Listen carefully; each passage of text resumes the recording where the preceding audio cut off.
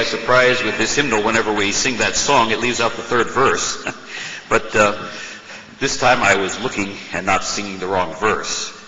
It's a, a, uh, delight and a privilege, of course, to have with us Brother Gary Johnson this morning, and he has requested that Brother Keith Coleman, who is being taken by surprise at this moment, come up and say a few words about the mission and about the work that Brother Johnson is doing. So, Brother Keith, if you would join us, uh, of course, the Executive Director of the Independent Board for Presbyterian Foreign Missions, and yesterday elected the President of the ICCC in North America. And so, Brother Coleman, we're glad to have you with us. And uh, I know he's going to uh, get after Gary at this point. So. yeah, well, Gary always has the last word on many of these things, but we're thankful how God has provided uh, through the years. I remember meeting Gary and Pat. Um, can't tell you what, what year it was. Um, we just come to Shelton College, and I think we had a missions conference probably, and uh, they were a very energetic couple, and they still remain very energetic. Uh, we lived with them when we lived over in Germantown at the uh, board headquarters, and uh, I learned a lot of of the horizontal practical mission work from from Gary and Pat, and I know my wife uh, also has, has learned a lot. But uh, our visits out to uh, Kenya, to their station and so forth, um, I found that which was practical in in regular life of ministering the gospel to those who are around them. Uh, just not the preaching, or just not the distribution of materials and so forth, but it was in, in everyday contact bringing Christ to those who have yet to hear, and to those who were believers, a great opportunity to uh, to build them up and encourage them. And I think that's been a great testimony to God being able to use the talents that both Gary and Pat have, and we'll continue to, to use them. I can't see him uh, stopping though, and that's kind of the problem. Maybe the Lord is this is his thorn in the side. Well, this is his thorn in the foot um, that uh, that will slow him down. But uh, God has blessed, and you know, as we examine, this is our 78th year uh, at the Independent Board that uh, the Lord has been pleased to use our missionaries. We're thankful for doors that open and close, uh, countries that have been pleased to uh, be fruitful. Uh, some doors closing and missionaries ushered out, uh, other doors opening up, and we're just so excited to see how these things have taken place. Uh, this past week, uh, one of our missionary couples, Stephen and Lydia Choi, went to Singapore. they were notified that their daughter was about to die. She had gone through breast cancer for about a year and a half, and the Lord took her home last Friday. The funeral will be Tuesday. So we suffer along with that. We think there are somehow missionaries are invincible from uh, other things, uh, but they are too mothers and fathers, uh, parents to children, and, and uh, those are areas that we uh, comfort and, and, encourage and pray for them also. So we thank you for your support for the missionaries under the board and uh, for your opportunities to have Gary and, and Pat and others through here that you are refreshed uh, and also for the uh, fine display that's back there. You're able to keep up with things. I trust you do. When a prayer letter comes, uh, read it if you would. Uh, there's a request in there, and you keep informed on what takes place. So we're thankful for that.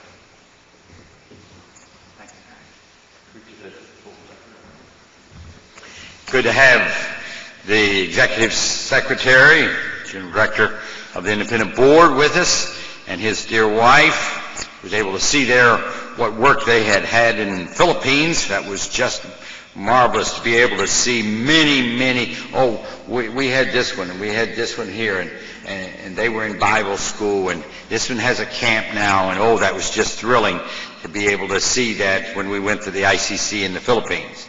I want to say thank you for having me. I want to say thanks for uh, so many that uh, I've known in the in the past and even from camp. It's so good to see them. And um, also to be here for a very special day with our good friends, the Whitbacks. And I thank the Lord for uh, 50 years together serving the Lord. And what a privilege that is, and, and what privilege we have of, of sharing it with Him today. And so I trust that uh, uh, it will be a testimony both to us and also to their grandchildren. We had some of their grandchildren down at camp with us, and I was most impressed to see how they had developed in wanting to serve the Lord. And um, they have already, uh, I've already got a letter this year that uh, they're wanting to go out again. I think it's to the Indians, if I'm not mistaken. And uh, they're wanting to continue to serve. That's good. Uh, as I said today in Sunday school, it's not uh, that you become a missionary when you get abroad. No, you're a missionary here, and then if the Lord sees that you're faithful, then He will use you abroad. And, and I think this is very important, and I'm so glad to see some of them here today. I used to be never allowed to be in this pulpit. There was one man that was a wonderful missionary. I, I don't know if he ever knew any language, but he certainly did uh, blend in with the nationals around the world, and he was president of the International Council of Christian Churches. And so I sometimes I come into this pulpit in fear and trembling. I don't know if Keith feels that way, but I do.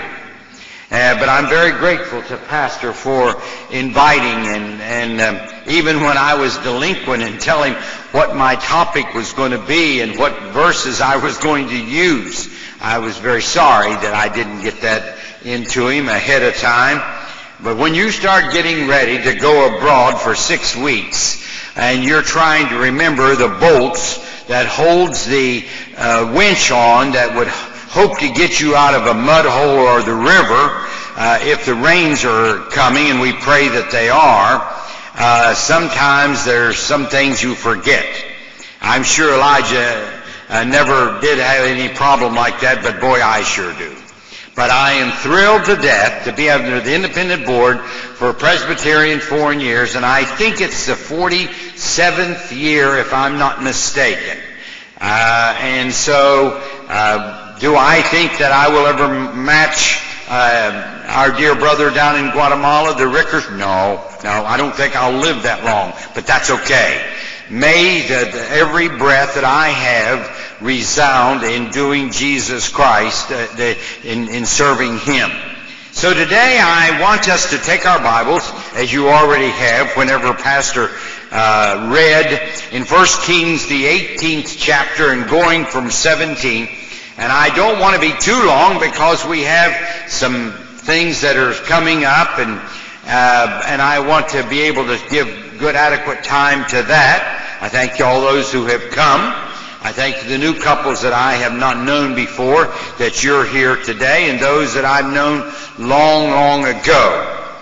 Here we find in 1 uh, Kings 18th chapter, and we're going to start, as we said, at 17, and I'm going to then switch back just a little bit from time to time, and I'm going to see about six things that uh, we found in Elijah. He was a he was a faithful missionary. He was a missionary that I would certainly like to pattern my life after. Um, I'm not sure that I want to sit by a brook even though I was able, when I was living in the Holy Land, and uh, uh, Daryl Creamer, who's already gone to glory, he said, Gary, let's go down and follow Elijah all the way down to Jericho. And so I, I was able to do that. We went, we took a bus out of, uh, first to Bethlehem into uh, Jerusalem, and then from Jerusalem we got on a bus and we headed to Jericho. We got off and we found the brook, and we went all the way down have no idea exactly what spot that uh, Elijah set, and he waited along the brook for the birds to come in each day to, to bring him food. Faithfulness of the Lord that he wasn't going to just put him out there and let him starve to death and, or make it on your own. We find that uh, Elijah had a teachable spirit. And every missionary and every pastor that I know, and, and we included, should have a teachable spirit that, that we can learn to sit at his feet and to learn even customs of that may not be our own. It's customs so that we can um, learn to help us on to God. I, I know that when my sister was uh, failing very quickly uh, with liver cancer, and, and, or cirrhosis of the liver. And, and um, I learned that um, uh, she uh, wanted to, to have a, a, teachable spirit. And I said, Oh Lord, may I do your will each day. And uh, so anyway, I called Keith Coleman up and I said, Keith, how could we honor a lady that has lived her whole life uh, since she accepted Jesus Christ in Ohio and up until now? How could we honor? And he says, we'll just give a gift in honor of. And that's what we've been doing. And I'm happy to tell you that uh, Keith Coleman, uh, or that uh, Charlotte Fawcett uh, has sent a card down and say up to now, um, the the funds that have come in to help the, the nationals who've not had any crops at all for 12, at least 12 months, $5,400 has come in for food. The board has already sent 3,000 of that, 2,000 for food and 1,000 for seed corn. And I'm so thrilled that, that there are times that come in, we don't do this very often. And I wasn't sure that it would even be acceptable. But it was, and, and I'm just thrilled to see uh, how the Africans have just, oh, this is from God's hands. We find that God told Elijah, he told him, I want you to go and tell the king that there is not going to be any rain for three years. You know, I don't know how that would bother, whether that would get you or not. But I'll tell you what, if you went and told even our president that we're not going to have any rain at all for three years, uh, maybe up in Scranton and West Pittston area, they'd be thrilled to death that they weren't going to have any any floods, you know, for at least three years, you know. But then, uh, if you said that's going to go across the United States, uh, you can talk to Texas people down there, and they'll tell you how hard it's been when they just go just a, a, a few months without rain and the fires and things that come. I cannot imagine of how the the country must have been after three years without. How can you keep cattle? How can you keep a chicken? How can you keep anything at all? But this is what God told him, and then he then he said, and you better you better get to, get it out of Dodge. You better get someplace where you can hide. And we later know that um, in this that the king Ahab searched everywhere, everywhere he searched for Elijah. Probably want him to reverse what God had said, or or do something, or I'm going to kill you for making a prediction like this. But we found the submissiveness of Elijah. And this is what all of us missionaries and potential missionaries need, is to be submissive with a teachable spirit. The next thing we find that uh, Elijah, he, sure enough, he did, he did get out of Jerusalem. He did get away from the king. He did get a place where he could hide. And we found that he was stretched. Here you can, I'm, I'm just sure that Elijah had fairly good meals when he was in a line. I mean, after all, you know, he, he wasn't a, just a poor beggar. And, but all of a sudden, now the Lord is saying, I want you to go along a brook. I'll take care of you. Don't worry about that. And I will take care of you there. I have never known a missionary under our board or in, under any board that has ever gone hungry or starving. Uh, you may not have had all the different kind of foods you like to have. Uh, pizza, I think we were talking about that in Sunday school. But I've never seen us lose too much weight uh, because we were serving on the field. I've seen some nationals lose some weight but not die. And here we find that the Lord was going to stretch the faith of Elijah. That's not bad. That's not bad to say, am I willing as a missionary, am I willing as a servant of God that I, my faith can be stretched? I may not know where all of it is going to come in. And sometimes uh, the hardest thing that I face sometimes is whenever I am told that, well, this church or another church is not going to, to give for one reason or another. Sometimes, one time I was told because I was moving from Africa to the Holy Land that they were going to stop my support. Another one, I was moving from the Holy Land back to, or to America and they, they stopped the support. And, these things happen. And you know what? You have to say, Lord, that's, that's all right, even though it's not. Uh, that's all right that I know that I can still trust you and I can, I can my, have my faith stretched that even though I don't know where all my support is coming from, Board has ways of, you can write letters and visit and things like this to let people know what you're doing. And you'll see even in the thing that he prayed about today about some of the missionaries and, and I try not to have my name in there, but, uh, in there, but sometimes it can get in me if, if people start cutting by. But sometimes you have to have that faith stretched. And here we find Elijah sitting along a brook and he is sitting there and he said, all right, and didn't have even have a reader's digest or nothing to read, you know, not much. And here we find that he's sitting there and then here comes this bird in with some food and things like that. Boy, I tell you what, that's, that's amazing that the Lord just sent that thing in there right. Probably he could have set his watch by it. There it comes, there, it comes in there. Are we willing to have our faith stretched here and also on the field, and also that have our faith stretched, but also the, the people that we work with. What about this? Can we relay, can we say, well, you know, I don't have much, but here it is. One thing I learned that I don't understand a bit about is the Africans is that they cannot say no. If I go over to pastor's house or if I go to any of your houses and I say, you know, I need a cup of sugar, or I need some flour, I need whatever it might be.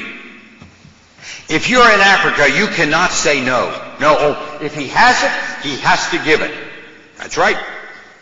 So I think, guess that's why they go to the store every day. So if they don't have it, they can't give it. And so, you know, boy, I tell you. But here we find that Elisha's sitting there. He had nobody to borrow from. He had nothing like this, but the Lord said, don't worry, Elijah, I'll take care of you. And I think that it's wonderful when we can depend upon the Lord that says, I want you to go to the king, and now I'm going to stretch your faith, and I'm going to, there's some other things we want to do. You remember that in, in the passage that he read, that after the brook dried up, and you can know it was going to, because my goodness, you can't have no rain for three, three years and have the, the rivers and the brooks and everything like this just keep flowing. That's not going to happen. Come out to Africa with me. I'll show you that it doesn't happen. Last time we had a, a terrible famine out there, uh, I was, I saw a, the hole down in the middle of the river went 20 feet down.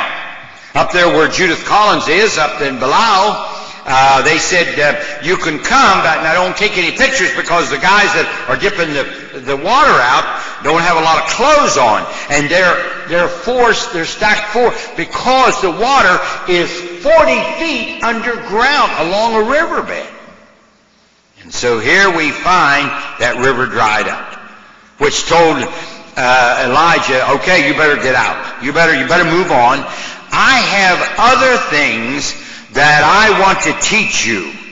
And so we find that he, uh, he, he told Elijah, okay, Elijah, you can leave now. Probably the birds quit coming and the brook dried up. And so now we find that he had to leave. And so he was even told to go to Zarephath. That is the hometown of where Jezebel came from. And you know, there's nothing in here that indicates, Lord, do you realize what you're telling me to do? You're telling me to go. They've been looking for me all over the place, and you know there will be people there in, in Zarephath that will be after me. No, no, he did not. He just accepted what God told him to do. Go to this town. He went into town, and as he came into the town, we find that, oh, naturally he's going to be thirsty.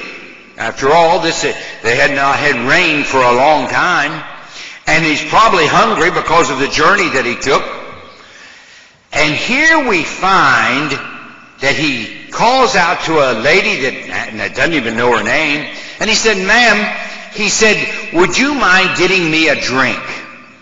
And he, and so she she looked up, and if you were from the Middle East, you would see that if somebody like that would ask you for Something, oh, you would, you would want to comply with that. And by the way, as you go get me a drink, would you mind um, bringing me a little cake or something?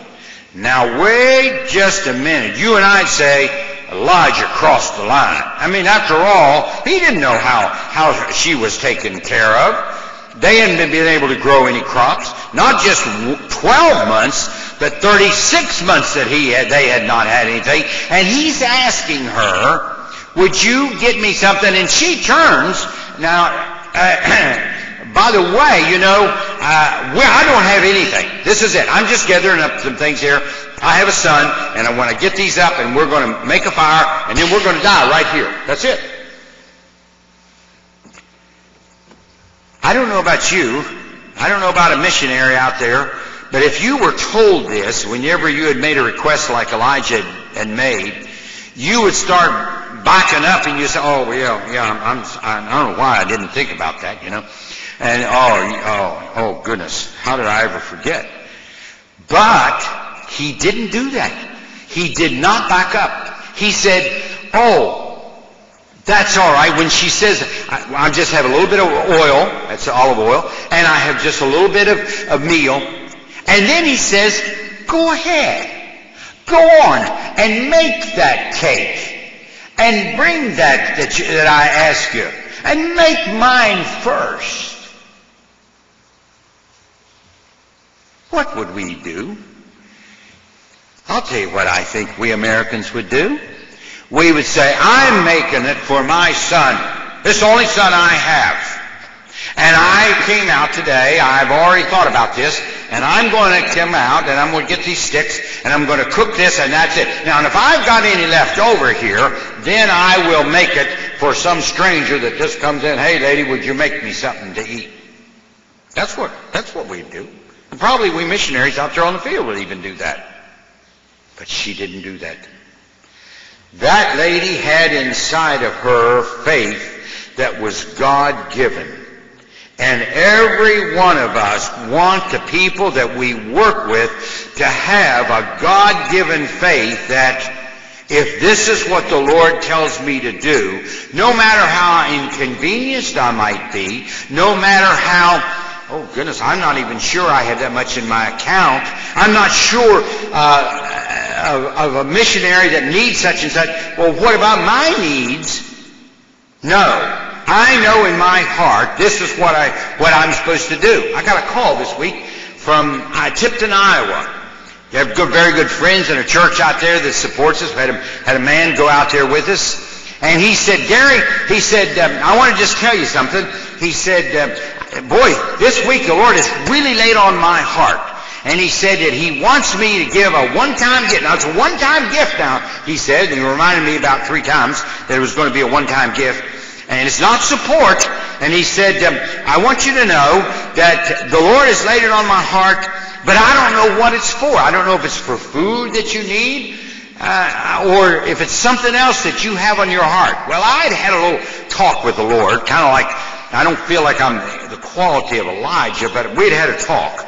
And I said, Lord, I'm not going to tell the board, I'm not going to tell my wife, I'm not going to tell anybody.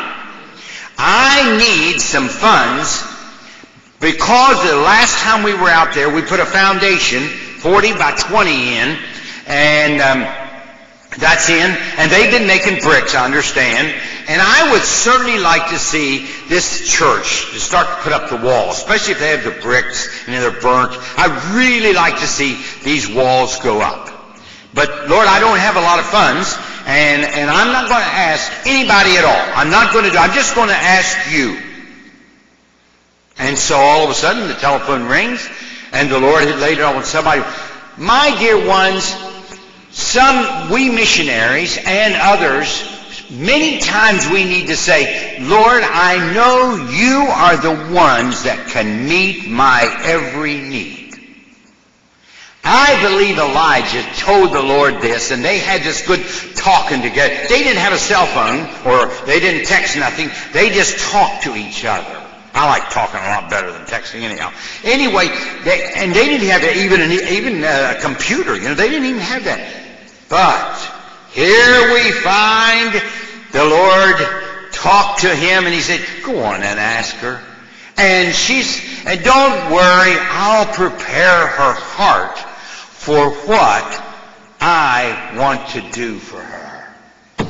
And here we find that she obeyed Elijah, and then we find that as I, I would love to, I wouldn't you been like to have been a, a, a spider or a mouse and seen her face as she poured that oil out, and they pour very carefully in the, in the Middle East. They, boy, they just don't go like that, like we do. No, no, they just pour very carefully, and they mix around and stuff like that. Well, that's that's good constiction. Yeah, um, uh, I, I think I can I can cook this now. And she looks down. Sure enough, I thought I, I thought I used all that oil. That meal that I, I had used, I was sure that this was going to be the last meal. That's going to be the best. And there's still, well, okay, good. I, I thought, I guess I misjudged there. And there we find that, that the, as she prepared and all, and she was able to take it out to Elijah, the servant of God, and she was able to give it, and he said, you know what? It won't run dry. It, the meal will not be finished I'm the one that supplies the need. I'm the one that takes care of the missionary support. I'm the one that when you're on the field or whether you're not on the field or whether you're just here in the economic times that we have, I'm the one that takes care of your need. I'm the one that talks to the farmers in Iowa and says, go on and give that one-time gift because the missionary is going out and they need to build a church. That's right. That's it. And I'm sure every missionary that I know, and I'm sure probably every one of you in here, have had those times that you've had that faith stretched. And you've had that time that, oh, I just don't know how I can go on. We find the next thing, and I think as a medical person that this would be one of the hardest things Elijah would face. And as I read even this morning, as I got up, last night before I went to bed, and as I got up this morning, I read this place where one of the days that Elijah came and to the lady who was fixing his food and things like that, and she is upset. Boy, I tell you, is she ever. I see some children here, all, all over the place here, and I'm sure that if all of a sudden one of them became so desperately sick that you, and especially the parents and the pastor and everybody, would be so very, very upset because this, this child is so very sick. And the lady says, you know, what, what have I done wrong? What is my sin? Is it something that I didn't, I've already forgotten about? And now you, my child is so sick and he's barely breathing and it didn't take very long that Elijah could see that the child died and she's blaming She's blaming Elijah. Why? I've tried to do for you as, as I felt God wanted me to, and now look what you have done. Oh, what did Elijah? You'll see here that that he cried out unto the Lord. He did. Lord, how can you let this happen at a time whenever we hardly have anything to even eat? And now you're even testing me and her and the child and everyone around. You're testing us to the fullest. In fact, Lord, how could you take this child? But the Lord wasn't finished with Elijah. And here we find supplication. Here Elijah really learns that to cry out to the Lord.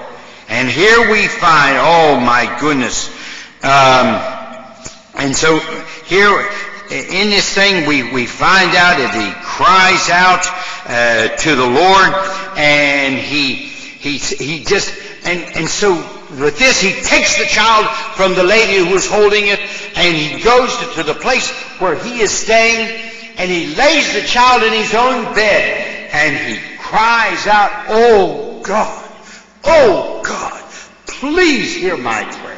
Please hear me. Do something for this child. How can, how, they will, uh, they will never trust you if this happens. And the Lord heard Elijah's prayer. And we find that, uh, that's in verse, chapter 17. And he stretched himself, over 21, 17, 21, he stretched himself upon the child three times and cried unto the Lord and said, O Lord, my God, I pray thee, let this child's soul come unto him again. Boy, I have never had to do that on the field, but I've come awful close. I've never just taken and laid it on my bed, but tried to give the best medicine. I'll never forget one time I was sitting with one of the nationals, Benjamin Kamuti.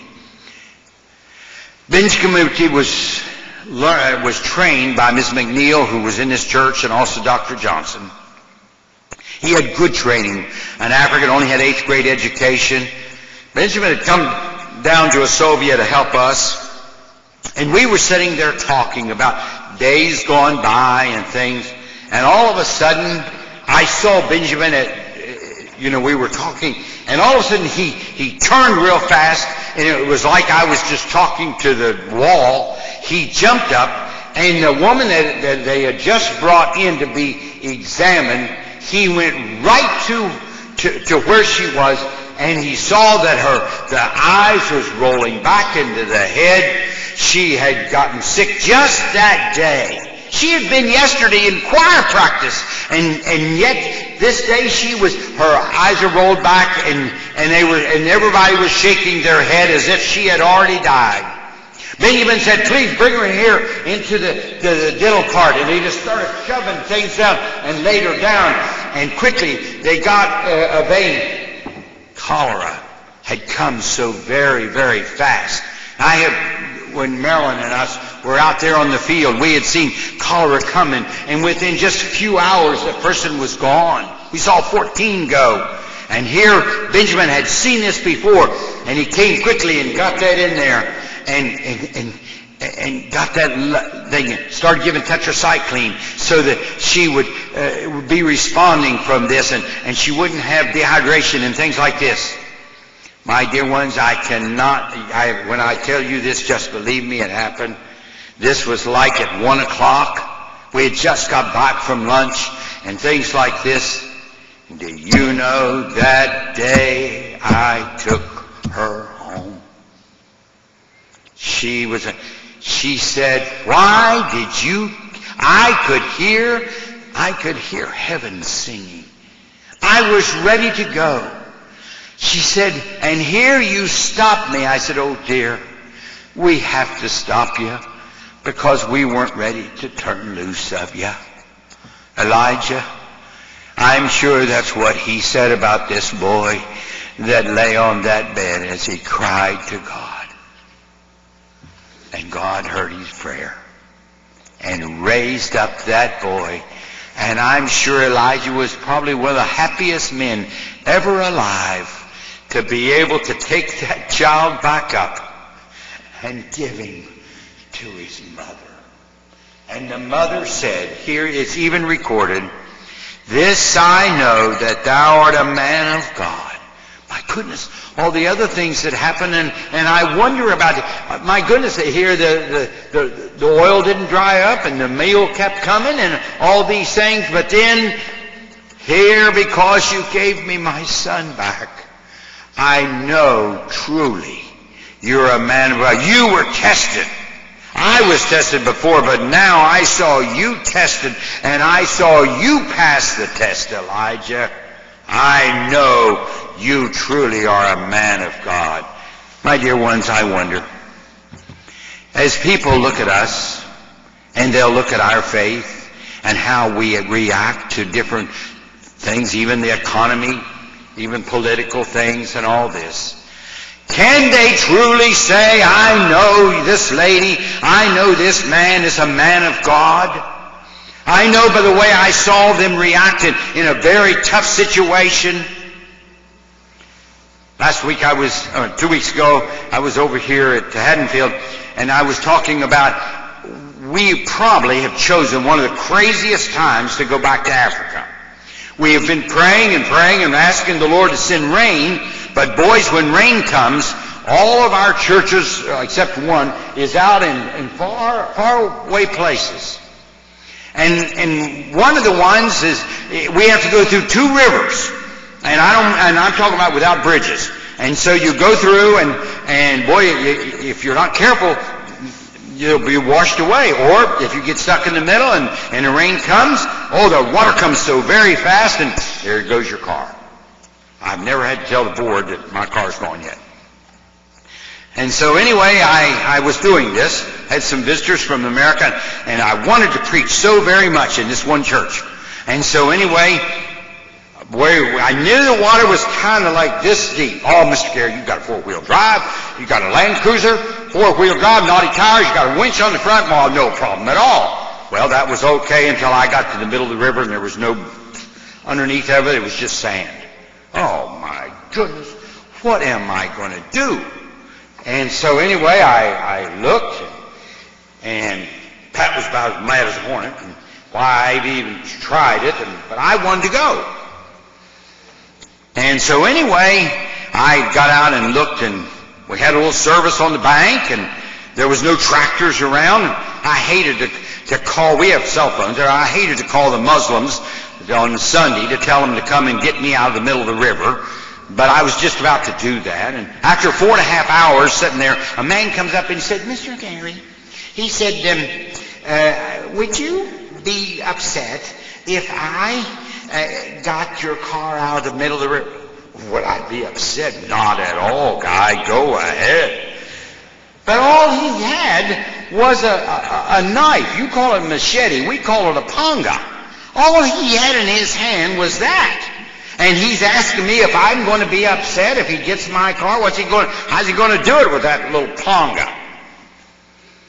And I said no. And I sat back and I watched because I sure didn't know what to do. And I, I pulled the winch out, 100 foot winch. Well, I tell you, I had the best. Hip trees were further than 100 feet, so forget that. I tied ropes, just snapped them just like nothing. Oh, Lord, I don't know what to do. And here this man goes over and he starts cutting some trees that's not too far away and dragging them in. And I saw old and young alike dragging these branches and putting them there on the side. And then he started saying, okay, let's get him a little bit closer. Mr. Gary, please come and get inside the car. Okay.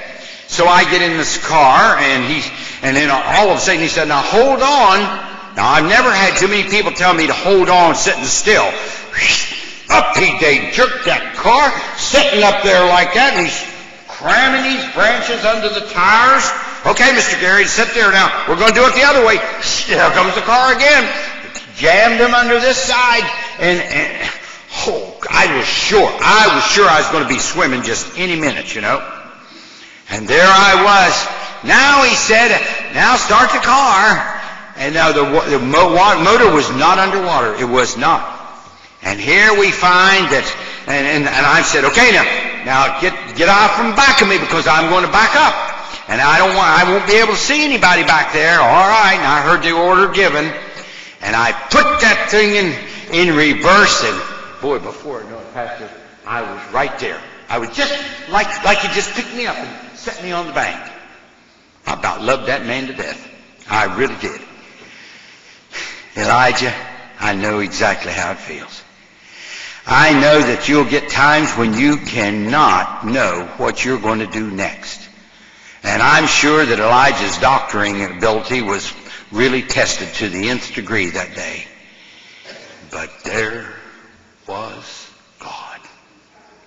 And my dear friends, I don't know if you have tested, known about God the way that He wants you to know Him. But He wants to, He wants to show you what He can do. He wanted, here Elijah had gone through so many things, but God still was testing Elijah so that he would learn to trust him more. Can we be trusted to, to, to pass the test and learn to trust him more? Well, she was glad to get him back. And then we find later on, when he went to the king, that he thought that, and he told the king, he told the king, I'm the only one that's standing. And they said, no, you're not. There, I've got many, many that have not bent the knee to Baal. I've got many. But we find another big test was coming that Elijah had to face, and that is the prophets of Baal. And boy, I'll tell you, they were very adamant. And here he said, first he thought he was the only one, and then he said, okay, you bring your prophets, and I will have the prophets of, of Israel come here. And we all know that great story. I, I just took Keith Coleman out there this year. I said, Keith, I'm going to take you someplace we just have to go. No matter what, we're going to go to Mount Carmel. We're going to go where Elijah had the contest with the prophets of Baal. And listen, this is the king versus king and the prophets of Baal versus Elijah and the prophets of God. Is he willing to trust the Lord all the way when a contest like this is going to come? Are we, are we willing to say, I am not going to compromise for anything? Oh, I tell you, wouldn't you like to have been there? I certainly would have. And there the prophets of Baal cried, slashed theirself, jumped up and down. They did everything they possibly could and no fire came. They had worked themselves into a frenzy, frenzy, and if they had drugs, I'm sure they took every bit of it. But no fire came down. And finally, Elijah said, all right, stand back everyone. Put the sacrifice there. And something happened. I want, it, I want us believers to know. They rebuilt the altar with the 12 stones because of the 12 tribes. But for them to have to rebuild the altar, it meant that it had been neglected for a long time. And I'm sorry to say that sometimes we neglect the altar of God by doing this or our program over here or this and we forget to come back to the altar that God has given us. And he said, okay, now let's rebuild this out. Let's rebuild this, this altar. Okay, bring on, bring on the sacrifice, bring on the wood, these, these things like this. All right, now I want some water. Can you imagine after three years where in the world they would get water? I wondered this more than anything when I was out there in the Holy Land for six and a half years. Where are they going to get water? I showed Keith. I said, Keith, I want to show you something. One day I came up here, Pat and I came, and I went down and I just went to fields and I couldn't find any water. And I saw a man with some sheep and some goats. And I said, Sir, I want to ask you a question. New Arabic. And so I asked him, and he said, Tal, Tal, come come. And I, so I, I drove real slow in my Fiat and there followed this guy and we walked to a, a like a cave and there was a, a, a tree hanging out. Yalla, yalla, come here. He said, look under there. And sure enough, there was water. He said, I've never known that to dry up. Now, he didn't live back to the time of Elijah, but in all the times of dryness and things, up on a mountain, there it was. There was a there was this place where there was water. And Elijah said, "Bring on, bring on, just pour some pour some barrels of water. I'll uh, do it again. Come on." And, and, they did it again. All right, let's let's get one more. And they just filled that in. And said that it ran all over the sacrifice and down on the rocks and, and down the edge and probably on the ground and everything. And then Elijah, who had been through those testing times before, he found that his standing, he was standing on the Word of God. He knew that the one that could raise that little boy up, the one that could take care of him by the brook, the one that could withhold the water, he knew he had a God in heaven. And this God would hear his prayer. My dear ones, I want to know today, you say you know the Lord. Whenever you pray, can you be sure, beyond a shadow of a doubt, that he hears your prayer? You've gone through some difficult times and you say, oh, that's all right, Lord. I know you're there. I know you've raised up this one. I know you've got me out of the middle of the river. I know all these things that have happened. And I know you're the same God. Bring down that fire. Boy, I'll tell you what, that thing that said that fire came down out. And remember, there was no clouds. There was no clouds. Because he had to pray that in. And that came out of heaven and that struck that, and it said it consumed both the sacrifice and the wood and the stones and everything. It said he did it because why? He's God. And he wanted to show those prophets of Baal that there is none beside him. My goodness, Elijah. No wonder Eli- Elisha uh, wanted to learn from him because all these great things that he had gone through, he was a wonderful teacher. The fire that fell from heaven, the Lord, he is God. The Lord, he is God. Boy, I tell you, there's a lot more to this, but my time is gone. I think we can learn a lot from Elijah. I think we as missionaries getting ready to go back to the mission field, we have to remember all the great things that he taught Elijah. And they're not reserved just for him. They're ours too. That's right. And a lot of times we don't have them because we don't claim them. We don't say, Lord, now if you want me to go to camp, I know you can provide. I know you can. And if you don't want me, well, that's all right, Lord. Then you'll have something else for me to do. Oh, may I learn from His Word that I can trust Him fully and that whatever He says, He will do. Heavenly Father, we're so grateful for this passage that you have given. We may have even mentioned some of this before, but oh, it seems to be sweeter as the days go by.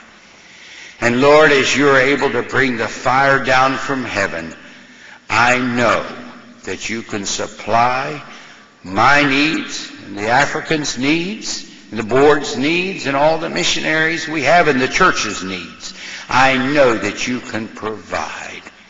Great is your faithfulness. In Jesus' name, amen.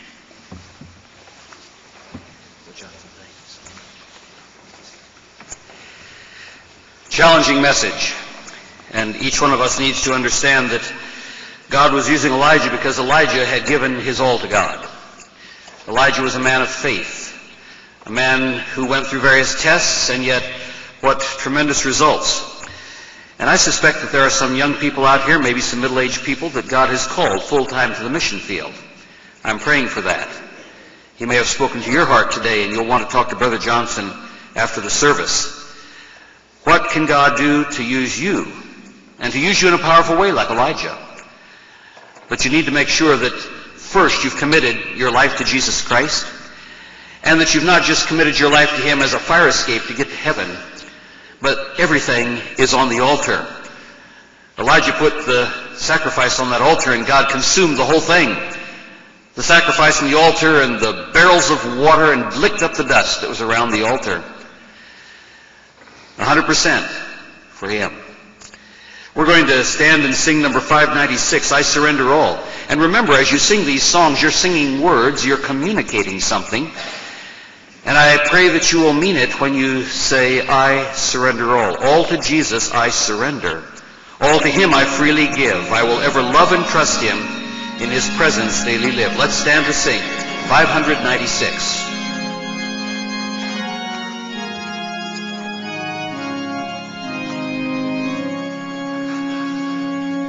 All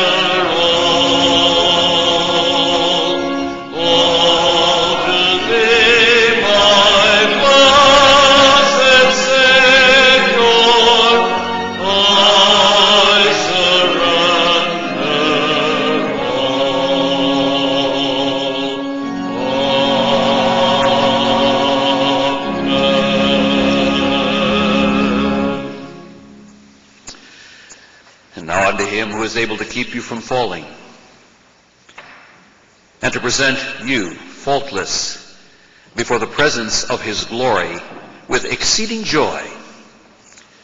To the only wise God, our Savior, be glory and majesty, dominion and power, now and ever.